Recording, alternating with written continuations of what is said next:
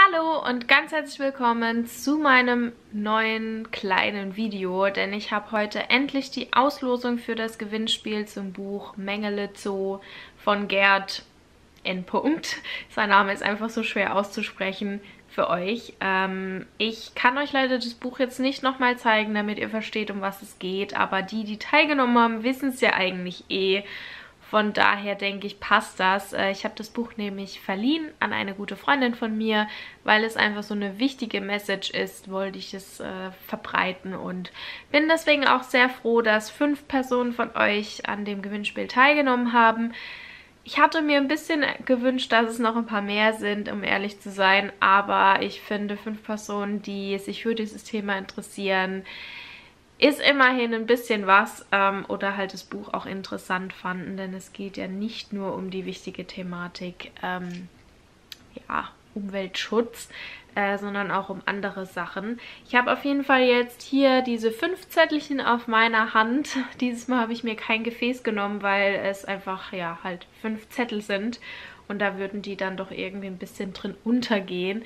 Ähm, und ich werde jetzt äh, hier einen Gewinner des Buches ziehen. Ich habe es versucht, alles gleich groß und gleich zu falten. Also sollte jeder die gleichen Chancen haben. Nicht jeder von euch hat mir eine E-Mail geschrieben, das habe ich äh, schon gesehen. Aber ich wollte euch jetzt trotzdem dran teilnehmen lassen. Einfach, ähm, ja, weil es dann halt doch fünf nur sind. Und sonst werden es ja weniger gewesen. So, jetzt mal gucken, wie ich das mache. Ich habe hier auf jeden Fall die Zettel. Und ich werde jetzt blind eine Person ziehen. Hier. Es ist Lieselotte. Ich hoffe, man kann es erkennen. So. Du hast das Buch von Mengele Zoo gewonnen. Herzlichen Glückwunsch.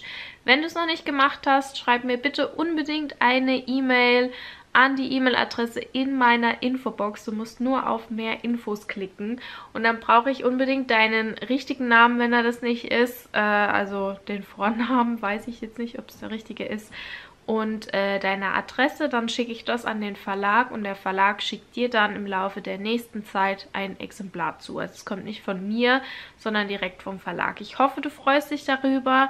An alle anderen tut mir wirklich leid, dass es nicht geklappt hat. Äh, ich werde aber auf jeden Fall mal wieder Verlosungen machen, sodass ihr auch die Chance habt, da weitere Sachen zu gewinnen. Genau.